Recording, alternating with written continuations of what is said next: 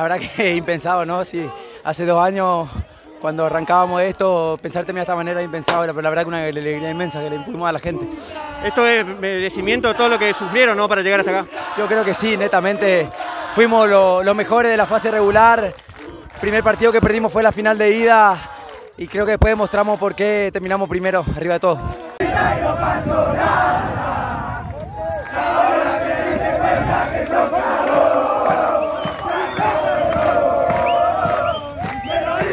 gitana, me lo hizo